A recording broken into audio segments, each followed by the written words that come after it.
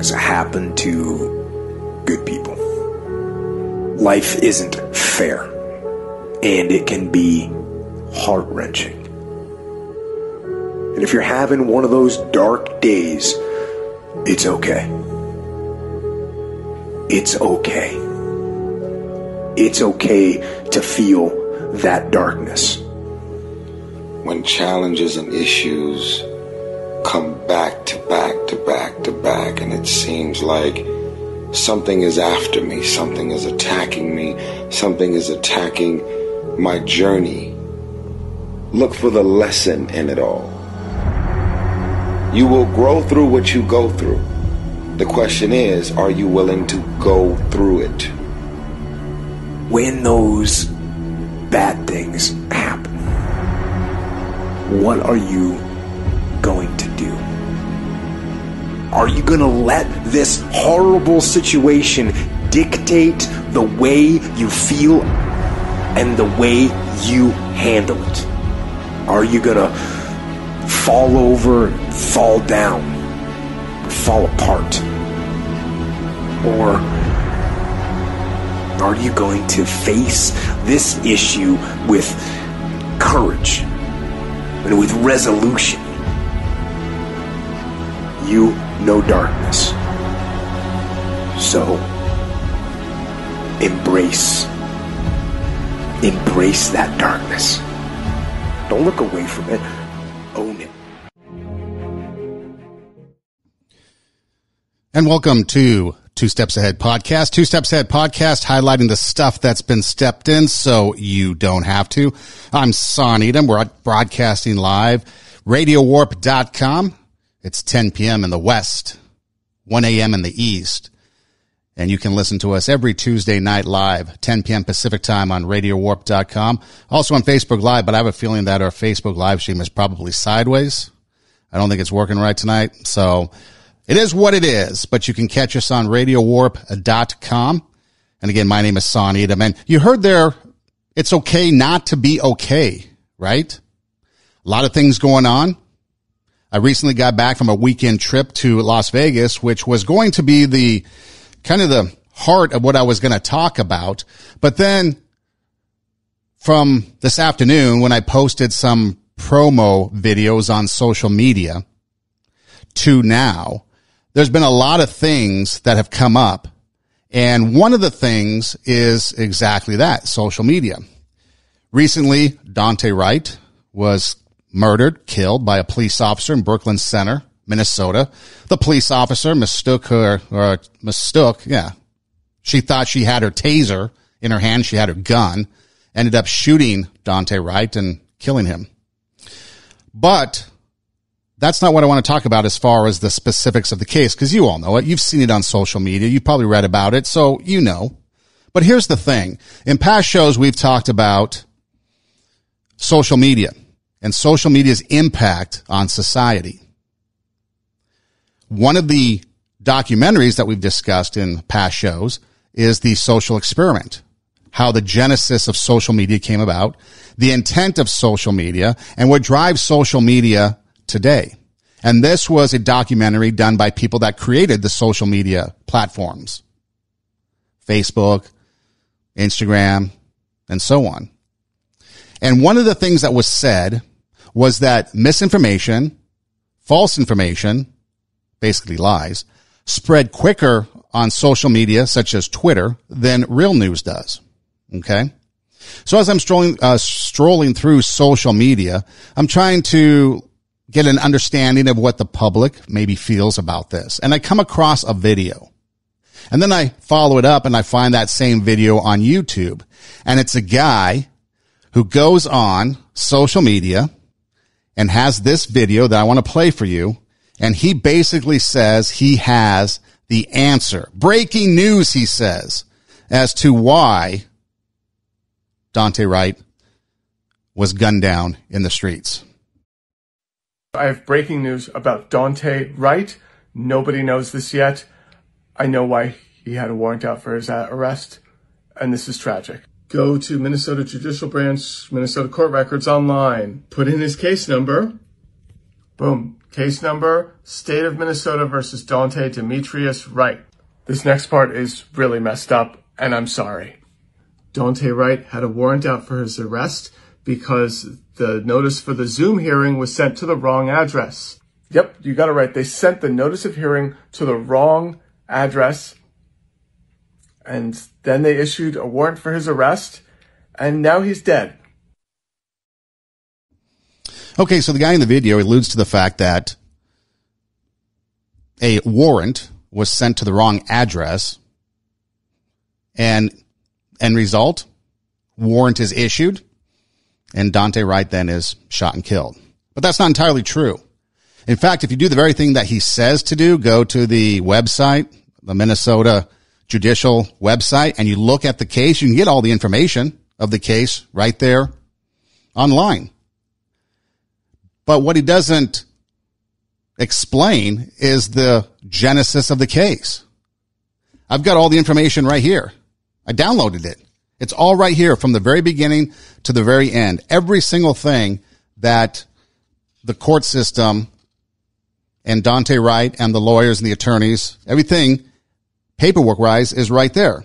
So he alludes to the fact that on February 5th of 2021, this year, the court system in Minneapolis posts on the website under this case that a piece of postage was returned to the courthouse on 2-5. Now, if you go back to the previous document, which is dated 2-2, there is a motion for an appearance and that is sent out via mail. And it's basically telling, I guess this case, Daunte, that he has to appear on August 2nd of 2021 at 9 a.m. for an appearance. That was, that's what was sent out February 2nd. Prior to that, you had something dated January 5th that was mailed out because it says on the document mailed to defendant that there's a notice of hearing coming up June 21st of 2021 at 9 a.m. Previous document to that, January 8th, 2021 a notice to appear for May 24th, 2021 at 9 a.m. Mailed to the defendant on 1-8. Now the Zoom meeting he's talking about was a hearing on January 25th at 9 a.m. On the document, it does not say it was mailed to the defendant. In fact, it says it was carbon copied to the defendant. So as you go through the information, you start to realize that what this guy's saying on social media is probably incorrect. And he has no clue what he's talking about. Because the only warrant that was issued, according to the documents on the website that he lists, is a warrant for a parole violation in July of last year, 2020. But then there's appearances in court by him.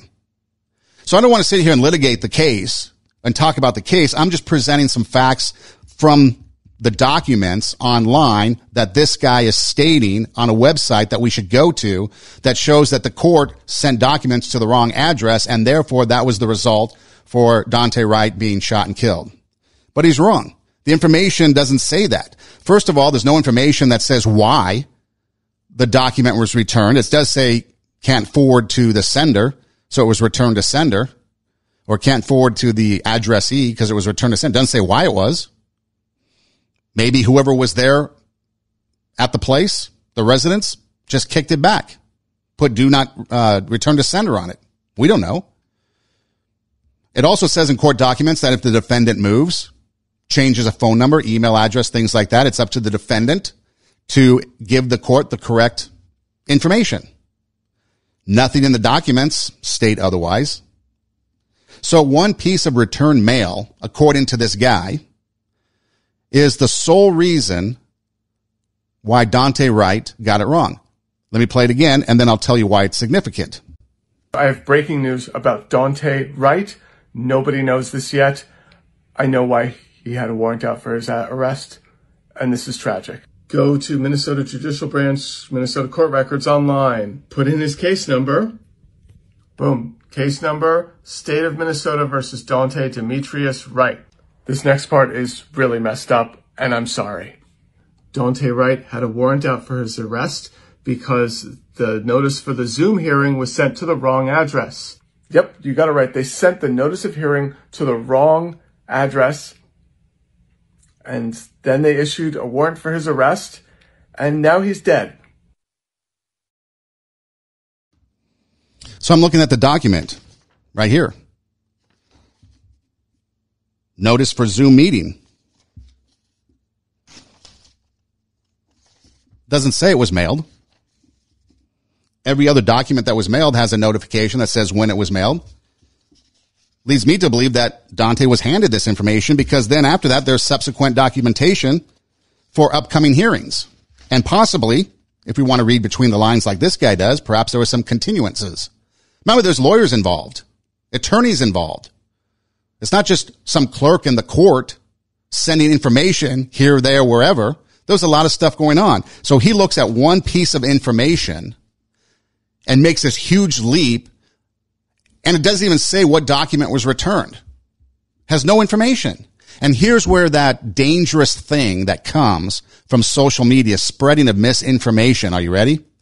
I'm scrolling through social media and I see another post.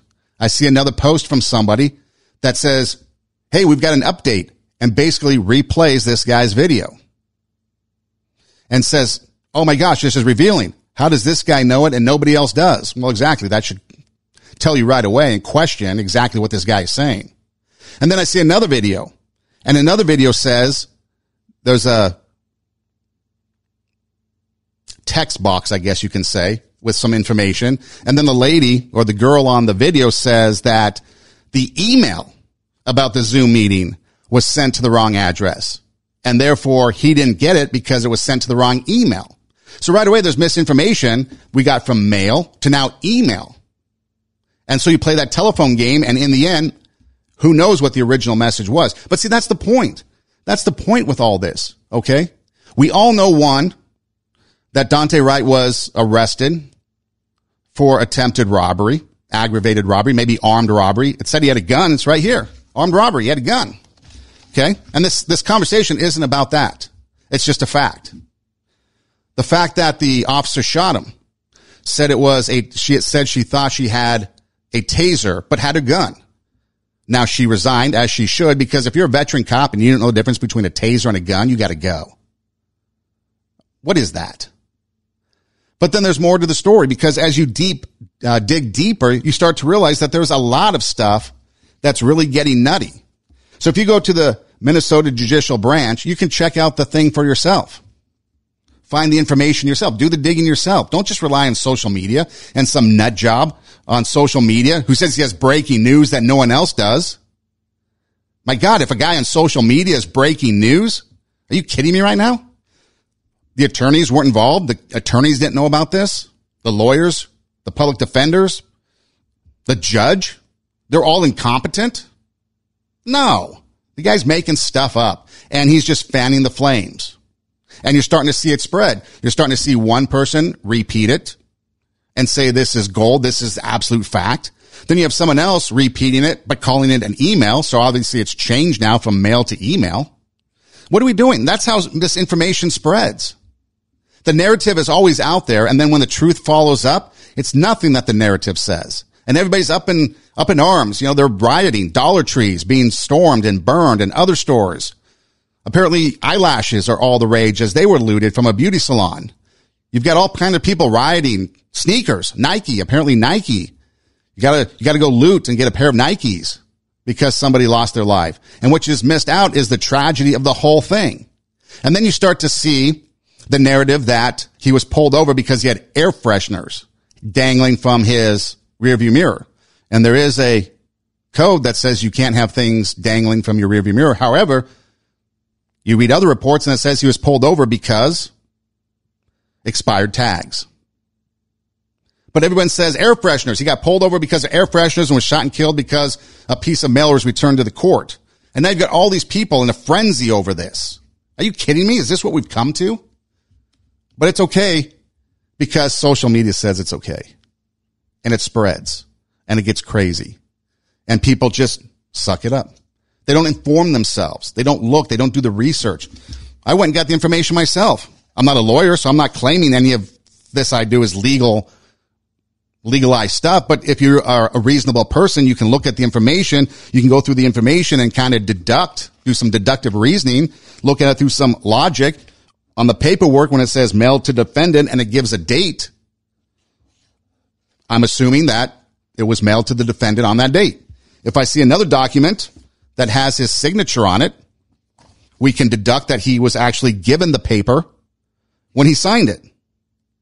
And here it is. You are requ- required to appear in court as indicated on January 25th of 2021. And this was issued on September 9th of 2020. And then as you start to delve a little deeper, you do start to see some sanity. People saying like, Hey, you know what? You should know your court date. You should have this information. You shouldn't just be out there and not knowing and not being capable of knowing what's going on. But it's the misinformation that's being spread. And think back over the entire year that we just had and how much of this misinformation was spread. How much misinformation did you all think was fact and factual and it turned out to be nothing? It turned out to be wrong. The narrative was ahead of the story and the narrative became X and then the truth came out and it was Z. And that's the dangers of social media. Any nut job can get on social media and post anything and people will believe it. You don't believe me? That's fine. I encourage you to do your own research. Check the facts. I don't need you to rely on me to tell you. You should be doing this yourself. You should be checking the facts. If you see something and call BS on it, do the research. I saw this video. I'm like, wait a minute. This does not sound right at all. And sure enough, you do some digging and the guy's sitting there and saying that it was a Zoom meeting that was mailed to the wrong place. That's not even the case. That whole Zoom meeting wasn't even mailed according to these court documents. It was hearings for later on in the year that was mailed to the defendant on certain dates. So I don't know what this guy's talking about. But then the scary thing is someone else picks it up and replays it. It says breaking news. This guy discovered something. This is the new narrative. And then someone else runs with it and says it's an email. Now it's completely misinformation. Complete lie. They changed it. And who knows what's going to happen down the road when it comes to this story. And then how someone's supposed to get a fair trial. Air freshener got pulled over for air freshener. That wasn't the case. According to other reports, more reliable reports, it was expired tags. And again, it's not about him in this conversation. It's sad. It's tragic. Should never happened. But what we're talking about is misinformation being spread on the internet, on social media, that people, especially younger people, aren't going to do the research. And so they take it. Just like the Georgia voting laws. Everyone says it's racist. It's Jim Crow. We talked about it last time. It's not. You look at it. There's nothing there Jim Crowish about it at all. Lies and misinformation. And that's what people run with. And in fact, Senator Warnock, he signed an email or a document, a press release, I guess you can say, that basically was a lie. And he admitted it. He admitted it that he sent out a press release signed and it was all a lie. The facts weren't in there. Yet people don't care. People don't care that this goes on, that the misinformation is being spread.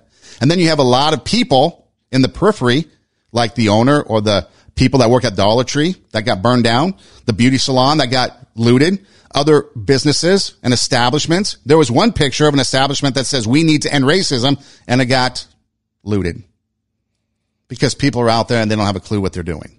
They don't have a clue what they're talking about. And then you take a look at other things that are going on with this case. Okay. So outside of misinformation by some nut job on the internet who is, uh, spreading misinformation, he has no clue. So whatever the truth is in the matter, this guy doesn't know it. I don't really know the full truth of it because I'm not there, but I can look online, get documents, print off documents, look at dates, look at times, put out a timeline and come to a rational conclusion that what he says is probably very wrong and has nothing to do with the reason why that piece of mail was sent back. And obviously had nothing to do with the fact that he was pulled over. Maybe Daunte didn't report a new address. Maybe he just left. Maybe he didn't care. How many times do you get some, how many times do you get something as far as a jury summons and you just chuck it? You don't care. Or other things come in the mail and you don't get it. It ends up someplace.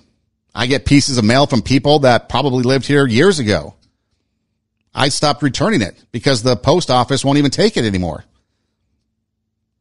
So what happens? What happens to those people getting this, not getting this information? I don't care anymore because if the post office isn't going to take it back, that's not my problem. I can't deal with it anymore. So I leave it in the mailbox until I guess somehow it gets cleaned out. But that's the point. We don't have information. You can't just look on a website and see a return piece of mail and come to the conclusion that that was the return piece of mail that was a Zoom meeting that then was sent to the wrong place that caused Daunte to miss a something or other. In this case, probably a Zoom meeting, according to this guy. And then that ends up in a warrant. We don't know that. And besides, wouldn't the attorneys know and the attorneys be able to inform him? And most of the time, I've discovered that when you get something in the mail from the courts, it's usually a courtesy. And a lot of times it goes through your lawyer. Look it up. Research it yourself. Do you think that people, defendants and lawyers and attorneys are going to rely on the, the post office for it to be the official reason or the official delivery method of important documentation? Of course not. The attorneys are going to know. They're going to inform the clients. So he sits there. Everybody's in a heightened state of emotion because of this. And he's going to sit there and put that out there on social media and say it's fact and this is what happened. Breaking news. What an idiot. It gets tiresome because then we all have to deal with it. We have to deal with the fact that then everything else that comes with it.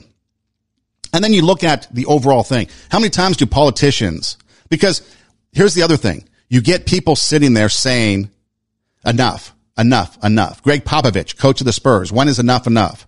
The Minnesota Twins, the Minnesota Wild, the Minnesota Timberwolves all didn't play their games that day.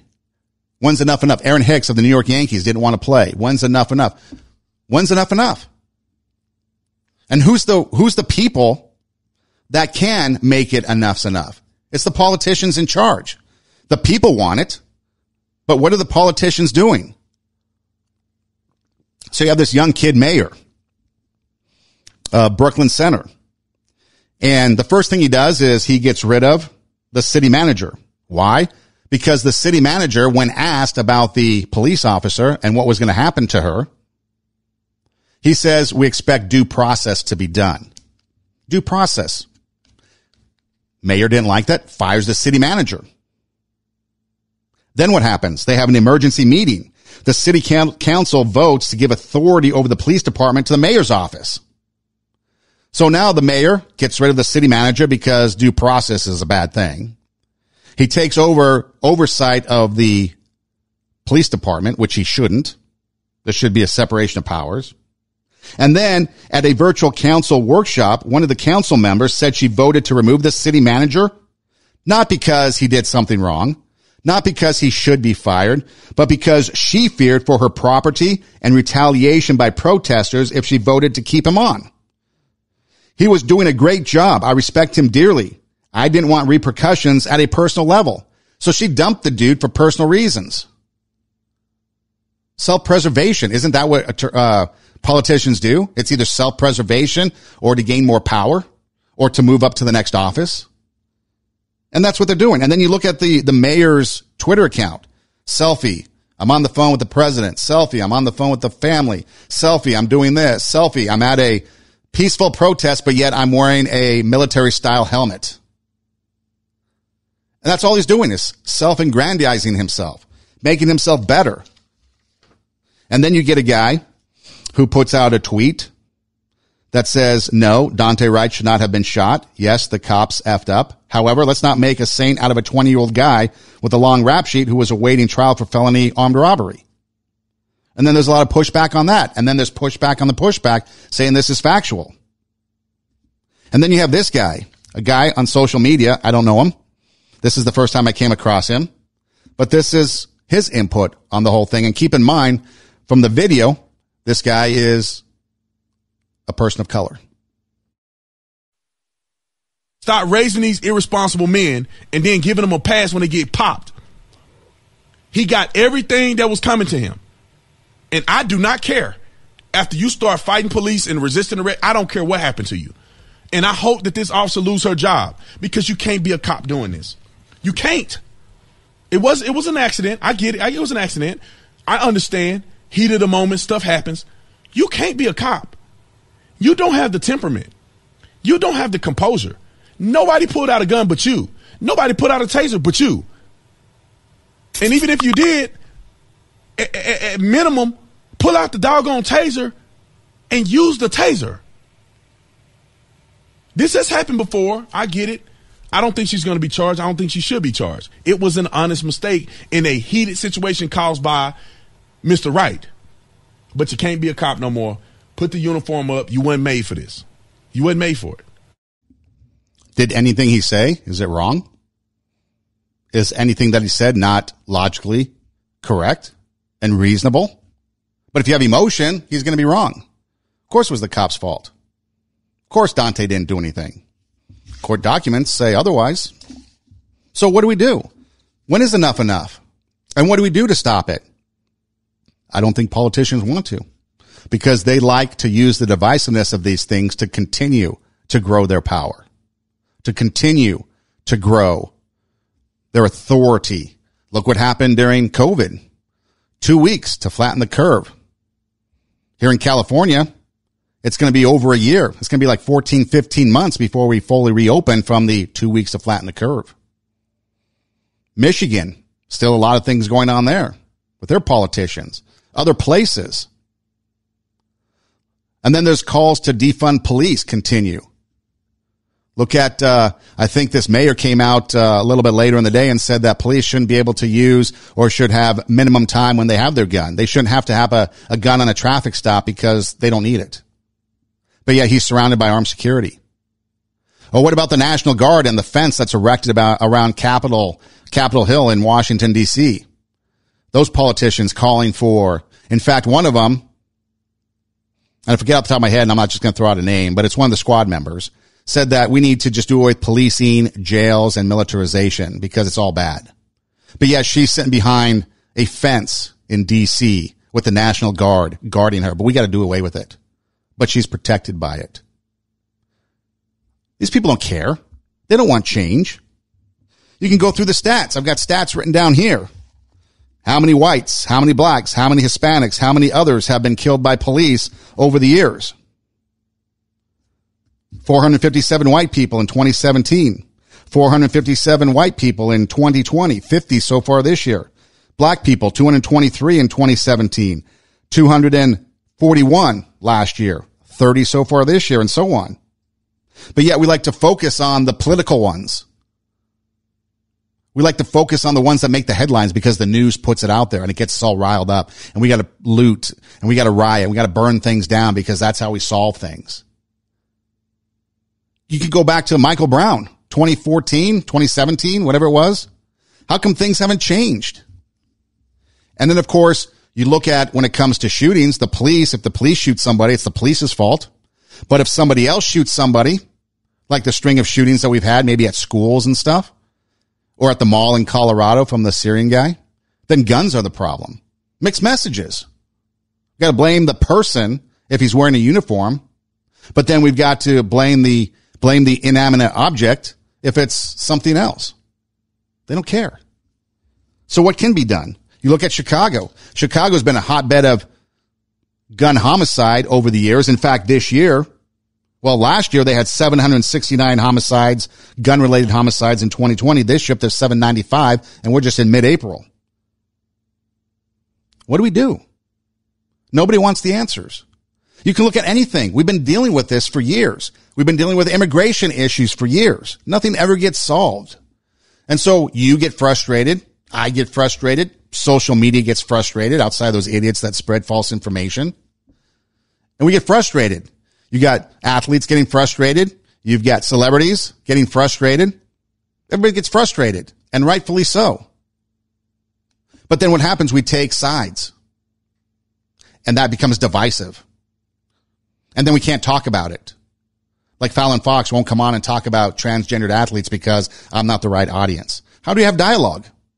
How do we talk about it? What do we do? We sit there and watch social media and we just listen to that and we run with that. And then we argue about it. And then we put the blame. And then we make up a narrative. And then we find out later that the truth wasn't the narrative. So what do we do with this? I don't know. How about this? And I just want to throw this out there as an example. So we have a white female police officer shoot Dante Wright. She resigned as she should. I'll let the court system figure that out if they're going to press charges or whatever. I'm not going to weigh in on that because I wasn't there. I didn't see it. I saw the body cam and yeah, it was, she's waving a gun. How can you not know the difference between a taser and a gun when you've been on the force as long as she has? She's 48 years old, been on the force a long time. Decorated officer at that. Maybe it was a mistake, like the guy said in the clip I just played a little bit ago. Maybe it was an honest mistake. We don't know. But what about this ex NFL player, Philip Adams, black player, apparently had some uh, issues with pain.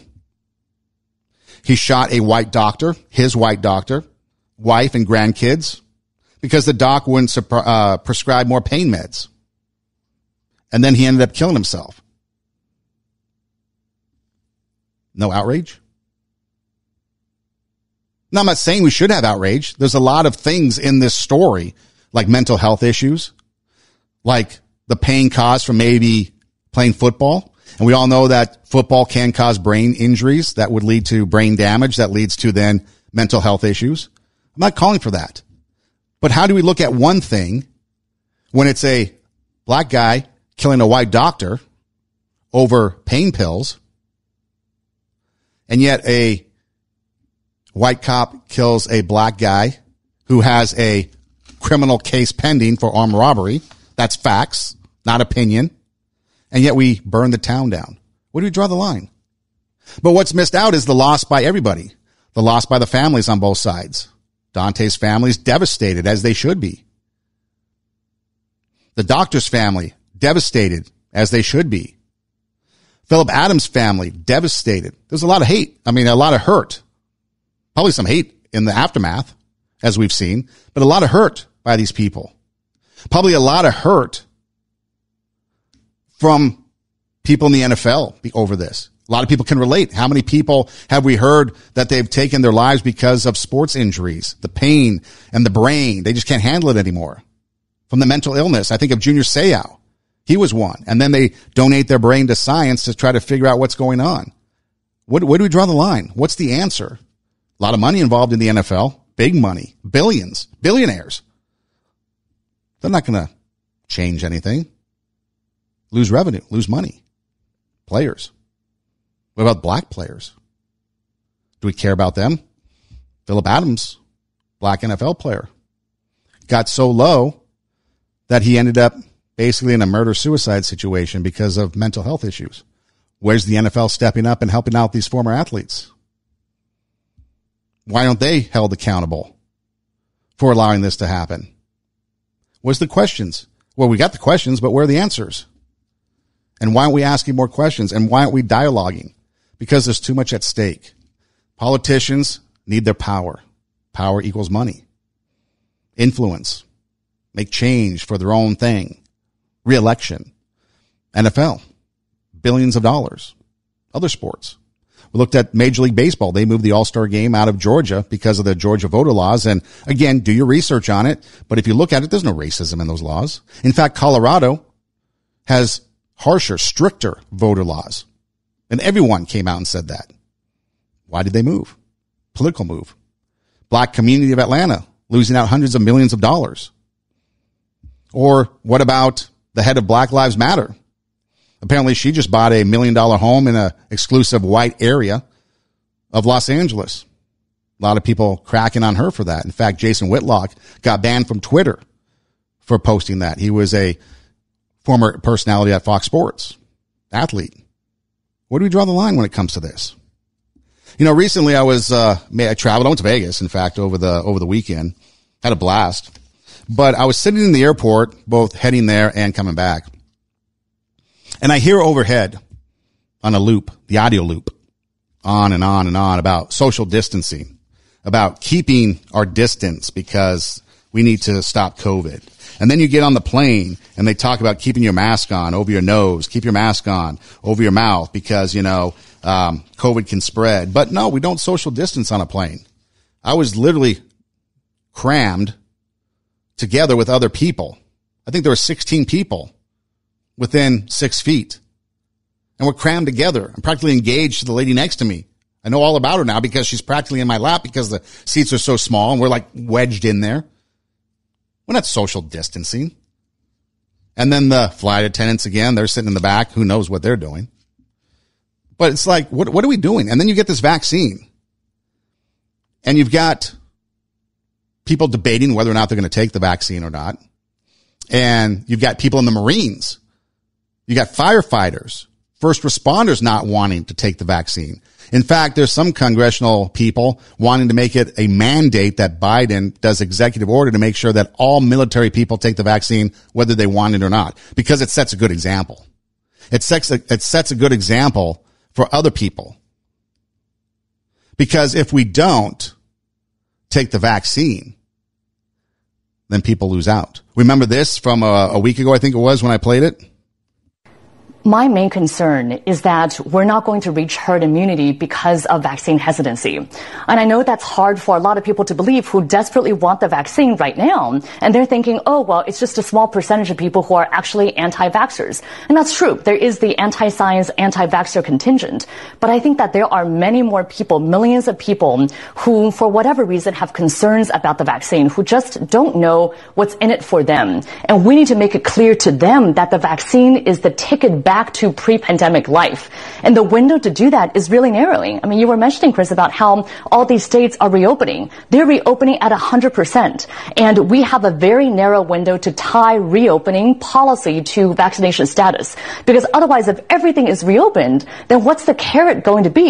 How are we going to incentivize people to actually get the vaccine? So that's why I think the CDC and the Biden administration needs to come out a lot bolder and say, if you're vaccinated, you can do all these things. Here are all these these freedoms that you have. Because otherwise, people are going to go out and enjoy these freedoms anyway. And I fear a situation of coming into the fall where we never reach herd immunity. And then we get hit by the next surge of, of, of COVID-19 in the fall. Something that we could have prevented if we just got people vaccinated now. So ticket to pre-pandemic life. We got a narrow window to get people vaccinated. Use the reopening policies and tie to vac- uh, vaccinations. That way we can get our freedoms back. If we don't get vaccinated, we don't get our freedoms back is basically what she's saying. 99% survival rate. In fact, 99.4% survival rate according to the World, World Health Organization. A 0.06% fatality rate. But yet we need to vaccinate everybody before we can have our freedoms that the Constitution says we can. Before we reopen again. But yet Johnson and Johnson just stopped their vaccine because it was causing blood clots. How many other instances of people dying? So a 99.6% or 99.4% survival rate, and we're exposing people to unnecessary and unprecedented vaccine that is harming them. And we don't know what the future is going to be like because there wasn't the testing over the long term. And how do I know it's a 0.06% fatality rate? Well, because the World Health Organization tells me what um, many groups are looking at right now is what we're calling the infection fatality ratio, which is looking at the number of deaths um, among all of the people who have been infected. Um, and right now, we don't know how many people have been un- infected um, because there are challenges with surveillance and detecting every single one of the cases. And certainly, there are many unrecognized cases at the moment. Um, what we understand from uh, many of these studies, these are estimates of the of the IFR, the infection fatality uh, ratio, um, is that the estimates hover around less than one percent of zero or zero point six percent. Um, and there are a couple of studies that are out um, that have estimated this 0.6%. And so there's the World Health Organization coming out and saying 0.06%. So why is there such a push on this vaccine? A vaccine that's causing blood clots, a vaccine that's causing people to get COVID once they've already had it and they're getting the shot. The vaccine that's causing people to die, have their skin peel off. Why is it? Why do we have to retie or tie reopening policies to the vaccine? What is so important about this vaccine that everybody has to get it? Maybe follow the money? I'm on a plane. This close to people, scrunched together. Practically hear their heartbeat. We're so close together.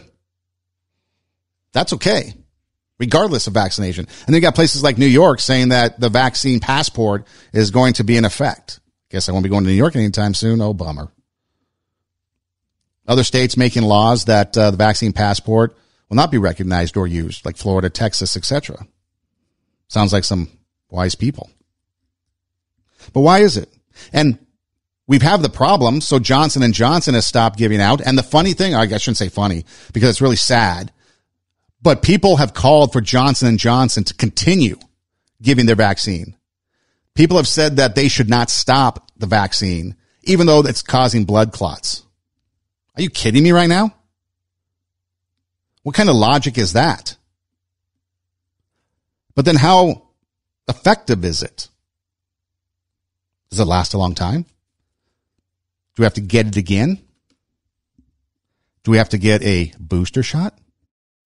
Should I be expecting to get a booster shot at some point in the future? And if so, when would that be? And will it need to be the same brand as the original vaccine that I got? Mm. Okay, yep, great question. So to answer the second part first, I think that if a booster ultimately is recommended, I think that we're going to recommend that you get the same one that you got originally. Um, when, of course, is the million dollar question. What I can tell you, which is really good news, is that at the six month mark, the curve looks pretty good in terms of how robust both the antibody response remains after vaccination, but also that other part of the immune system that we don't spend a lot of time talking about, the T cell response also remains really good. I think six months from now, we're going to get a better idea of exactly if and when um, we do need to get a booster. And remember, it might not just be a booster of the original. We may have a booster shot that actually contains more than one variant. Mm-hmm. Think about the analogy to the flu shot every year covers about three to four strains. So a lot of unanswered questions. Um, and I know that's not so satisfying for folks, but the answer is yes, I think we will. We just don't know exactly exactly when yet. So you're going to need a booster shot and inject yourself with more of this stuff and even more strains will be added to the booster shot.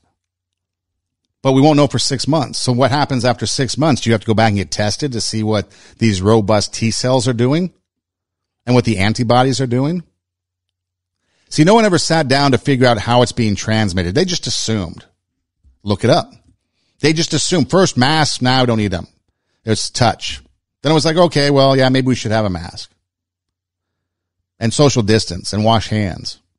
And now you listen to Fauci, it's get a vaccine, double mask, still stay home and stay away from everybody. Where's the logic? Where's the reason? Where's science in any of that? And yet we're jabbing ourselves with something that we don't even know. We don't know what's going to be like. We don't know what's going to happen. And yet, why is it that it's going to become such a thing that if you don't have a vaccine passport for something that's 99.4% survival rate, because that's what they're talking about. They're talking about having to have a vaccine card. Go online and look in order to travel. Other places around the world are already doing it. Why? Why all of a sudden for this one thing, we've had H1N1, we've got swine flu, bird flu, mad cow disease, the regular flu. We've had all kinds of things. Why all of a sudden is it now with this particular disease that a year ago nobody knew nothing about? Now a year later, we have these people that are so-called experts telling us that we need a vaccine, we need to double mask, we need to social distance unless you're on a plane, and then you need to stay at home. But if you get a vaccine, you can have all the freedoms you had before, which usurps the Constitution. And yet we have to do it in a timely manner because otherwise people don't want to get vaccinated because they're already being open and free and able to do the things that they want to do, but they're not vaccinated. So why all of a sudden? So you have this booster shot because the vaccine isn't forever. So you're going to have to continually take that. You have to get the vaccine in order to travel and to go to places like New York before you can reopen. Some are even saying that you have to get the vaccine in order to go to ball games anywhere, travel, go to gyms. And they're saying that you need to keep, keep that card like a birth certificate, like a social security card, laminated, make digital copies because that's going to be like what your passport. Something sounds fishy about that. And so again, why? Recently in California in 2017, you may or may not know this, but remember the HIV virus? We had no idea what it was. We made some assumptions early on and then we kind of figured it out as the years went by. But there were laws on the books. Well, let me play this for you and then you decide and we can discuss it. California Governor Jerry Brown signed a law Friday reducing the penalty for knowingly exposing someone to HIV from a felony to a misdemeanor. The old set of laws were rooted in the early 1980s. At the time, there weren't effective treatments for HIV, and there were rumors of people intentionally infecting sexual partners with the disease. HIV treatment has gotten a lot better since then, and the new law is meant to reflect that. HIV drugs help prevent transmission, and HIV patients' life expectancies are now, quote, near normal. In 1995, the height of the AIDS epidemic in the U.S., more than 50,000 people died of the disease. In 2014, the last year with statistics, there were only about 6,700 deaths attributed to HIV. There has been some pushback to the law. Republican State Senator Joel Anderson said he doesn't think people who would intentionally infect others should get lighter sentences. So in 2017, then Governor Jerry Brown reduces the penalty from a felony to misdemeanor. And the piece right there cites that treatments have gotten more effective and better, reducing the, the risk of spread. And so if you intentionally, knowingly infect somebody with a deadly disease that killed 50,000 people at one time, probably greater in the years before. But if you knowingly infect them without telling them, then it was a felony, but because treatments and medicine got better, it's now just a misdemeanor. Sounds like he maybe based that on science. Okay, well, let's play that out. 99.4% survival rate with COVID. Seems like there's been some medicines throughout the year, hydroxychloroquine that magically disappeared, but that was in the news forever. And so why do we have to force these vaccines on everybody? And why is it a felony if you have a fake vaccine card? Why all this importance on it? Why now? Makes you wonder, doesn't it? Because here we're reducing the sentences for HIV infection purposely on somebody unknowing because medicine makes it better. Because we can have a near normal life if we're infected. Because the rate of transmission can go down because the viral loads and things like that can be controlled with medicine. But yet something that 99.4% survival rate. A lot of people, if you take the news out of it, the headlines, the mainstream media, the story never blows up. Election year, probably story never blows up because they politicized it. That's a fact. You want to call it opinion? That's fine. You can call it opinion. I'll opinionize every once in a while. But why all of a sudden now do we have to have this emphasis on the vaccine? Makes you wonder. How about this? The Department of Defense creating an implant for early detection for COVID. Kind of like the minority report. What do you think of this? Consider a ship like the USS Theodore Roosevelt, hobbled last year when 1,271 crew members tested positive for the coronavirus. What if everyone on board had their health monitored with this subdermal implant, now in late stage testing? It's not some dreaded government microchip to track your every move, but a tissue like gel engineered to continuously test your blood. It's a sensor. This tiny green thing in there? That tiny green sen- thing in there. You put it underneath your skin, and what that tells you is that there are chemical reactions going on inside the body, and that signal means you're going to have symptoms tomorrow. Wow. There's an actual transmitter in that? Yeah, it's like a check engine light. Check this sailor out before he infects other people. That's right. Sailors would get the signal, then self administer a blood draw and test themselves on site.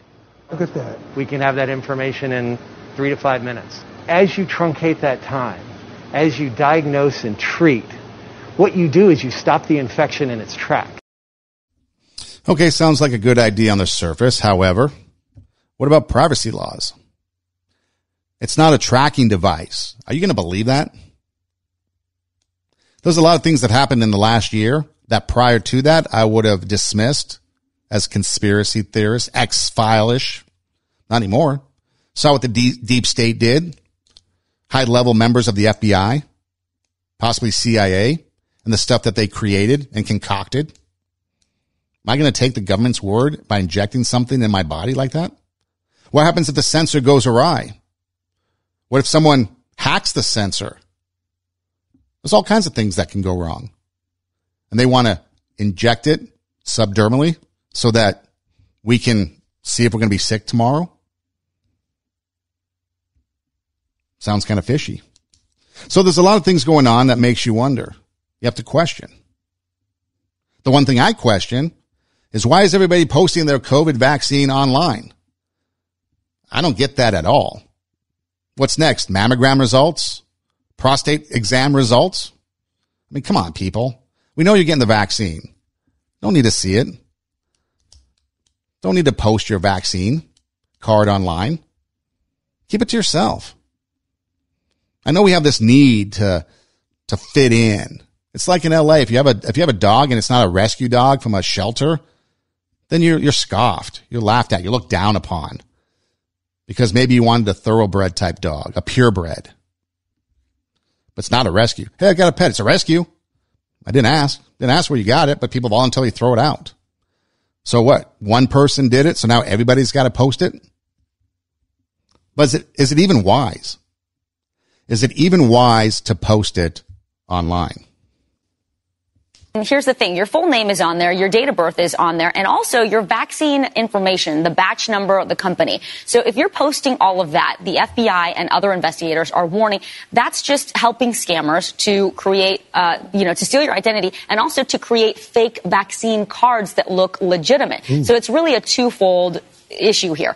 When you put your name and birth date out there, you might not think it's a big deal. Oh, it's already on Facebook. But those are just clues that then can be used later to steal your financial data and also even ultimately lead to stealing your uh, social security number. Ooh. Identity theft. Yeah, I know a lot of you block out information, but people can look at the card and make fake ones, fake IDs, fake vaccine cards. Get them on the dark web for thousands of dollars. Kind of like those Lil Nas shoes. So maybe we shouldn't post things online. Maybe we shouldn't expose information, personal information. Because there's a lot of things, even though you black it out, I've seen some, some pretty interesting picture apps that can do some crazy things and peel away layers and reveal information. Do what you want. But again, I don't understand why we're posting it. Doesn't make sense to me. So you got the vaccine. That's great. Personal choice. Should you be forcing it on everybody? No. Should it be a choice? Yes. Because if you get it, everybody that got it, and we still don't know the numbers because like the, the audio bite from the World Health Organization, they don't know how many people got it. I know a few people at least 10 off the top of my head that had it and they know they had it, but then everyone got tested because people in their household had it and were confirmed to have it and they had symptoms and stuff. So there's a lot of people out there that probably had it. Or what about all those people that had it but didn't have any symptoms? Remember that? So we don't really know what the fatality rate is. If you take out the scandal of the nursing homes in New York, and things like that, maybe the number is even less. We don't know. But a lot of people have taken this and used it for their own political gain, their own personal gain. They're talking about reopening schools. And I had some information from a school meeting. The teachers met online to talk about reopening. And one teacher, a male teacher who had been teaching for a number of years. And before the pandemic, you'd get up, you'd go to school, teach all day, go home, put in long hours, right? Well, his question was, how is he going to take his midday shower now if he goes back to school? Because the midday shower is more important than his job and the midday shower is more important than educating kids. So what he would do is he'd get up in the morning, probably like everybody else, just roll out of bed two minutes before class time, teach his hour or so in the morning, then go eat his breakfast, take his noontime shower, and then teaches hour or two in the afternoon, then call it a day. So for all the things he asks about reopening is how is he going to take his noontime shower? Tells you all you need to know. People are using things for their own personal gain. Whether it be a noontime shower, whether it be a political agenda, whether it be money, it's all there. And we have to deal with that. And we talk about change. We talk about enough. We talk about no more, yet it continues. Why? Nobody makes changes. Nobody has the ability to come up with an original thought, to sit down and figure out how is it that we can come up with a solution. It's the same thing. Take away guns. Police are racist. The suspect was a saint. It's always the same thing. Never anything different. And then people are out there using it for their political gain, for their power, for their money. And we all have to suffer. And the cycle just continues. So if you're feeling down, maybe you're not personally affected by all this, but you're feeling down, you're feeling depressed, you're feeling enough's enough. It's okay not to be okay. But don't let it define you. Get back up, overcome that obstacle. Take that greatness within you. Let it come out. Raise your standard. Be an inspiration to others. Take your passion, make it happen, and let yourself be great. This is Two Steps Ahead Podcast. Two Steps Ahead Podcast highlighting the stuff that's been stepped in so you don't have to. We're live every Tuesday night at 10 p.m. Pacific time right here on radiowarp.com, W-A-R-P, radiowarp.com. We're on Facebook Live most of the time, except I think tonight it got messed up. Probably sideways.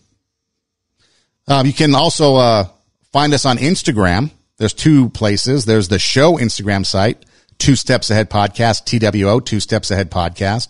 And then there's my personal website or personal Instagram, uh, at Eidem Rocks, E-I-D-E-M, R-O-C-K-S, at Eidem Rocks. If you go to either site, there's a link, a link tree link in the, the bio. You click on that link and some options come up. You can watch the video on YouTube. You can also, uh, watch it on IGTV on Two Steps Ahead podcast site. There's options to listen to the audio version.